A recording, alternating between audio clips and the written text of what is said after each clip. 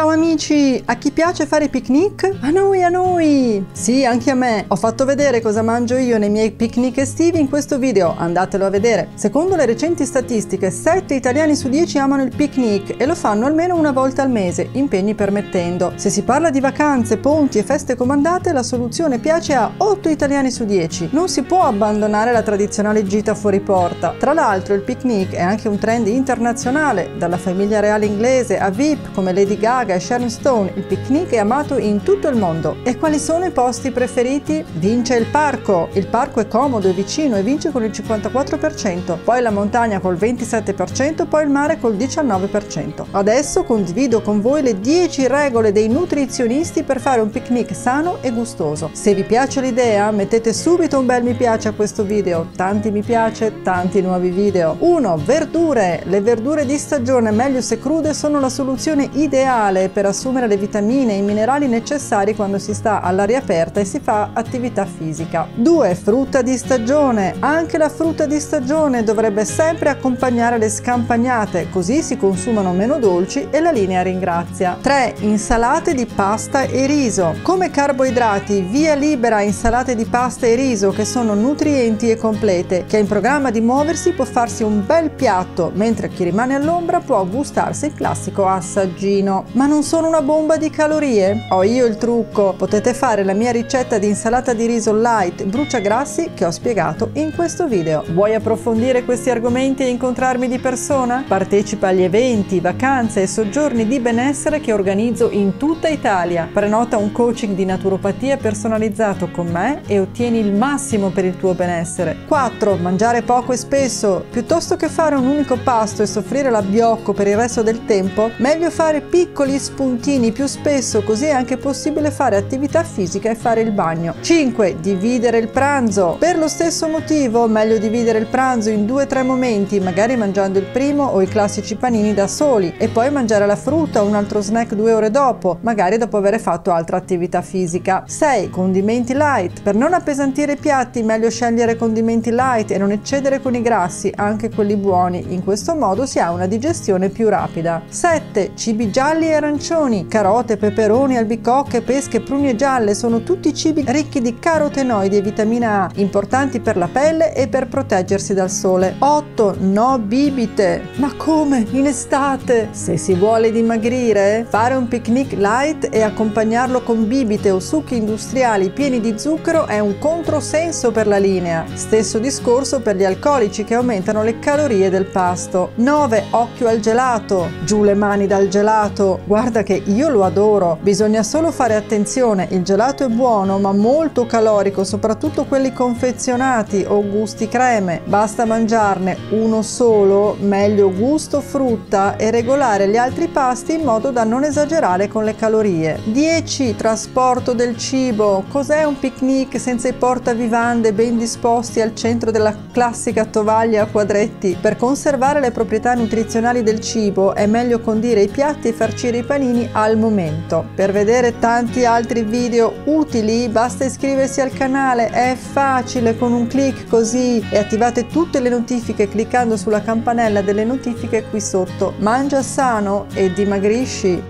Vai in descrizione per trovare le playlist di tutti i miei video, i link ai miei libri ed ebook, i motivi per cui divulgo la mia esperienza. Seguimi sul canale sui social, clicca mi piace, condividi e iscriviti alla newsletter del mio sito. Ogni giorno sempre più trendy e sani con Simona Vignali naturalmente. Ciao!